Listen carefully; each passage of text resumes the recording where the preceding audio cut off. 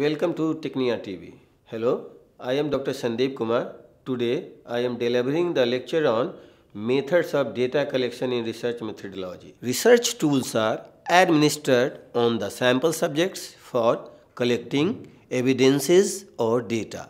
Most educational research will lead to the gathering of data by means of some standardized test or self-constructed research tools. It should provide objective data for interpretation of results achieved in study. The data may be obtained by administering questionnaires, testing, personal observations, interviews, and many other techniques of collecting quantitative and qualitative evidence. The researcher must know how much and what kind of data collection will take place and when. He must also be sure that the types of data obtainable from the selected instruments will be usable in whatever statistical model he will later use to bring out the significance of study. The data collection is the accumulation of specific evidence that will enable the researcher to properly analyze the results of all activities by his research, design and procedures. The main purpose of data collection is to verify the research hypothesis. Now, I am explaining the meaning of data. What is data? Data means observations or evidences. The scientific educational researches require the data by means of some standardized research tools or self-designed instrument. Data are both qualitative and quantitative in nature. A score is the numerical uh, descriptions of an individual with regard to some characteristics or variables. Measurement process is employed to quantify a variable.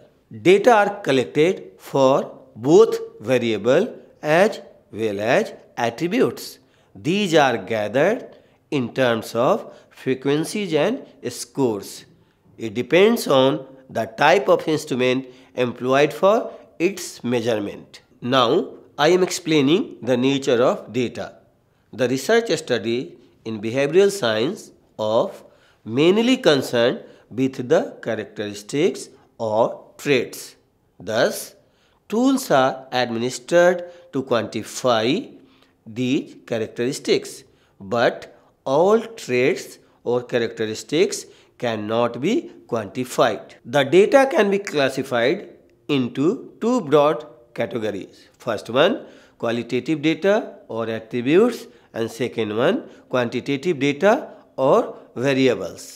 Now, what is quantitative data or attributes? The characteristics or traits for which numerical value cannot be assigned are called attributes. Example, motivation, confidence, honesty, integrity, etc. Now, what is quantitative data or variables? The characteristics or trait for which numerical value can be assigned are called variable. Example, achievement, intelligence, aptitude, height, weight, etc.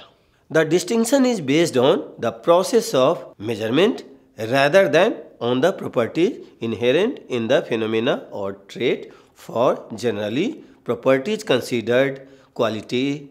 The distinction is based on the process of measurement rather than on the properties inherent in the phenomena or trait for generally properties considered qualitative can be made quantitative by measuring them with an instrument designed to assign numerical values to the various degrees to which they exist.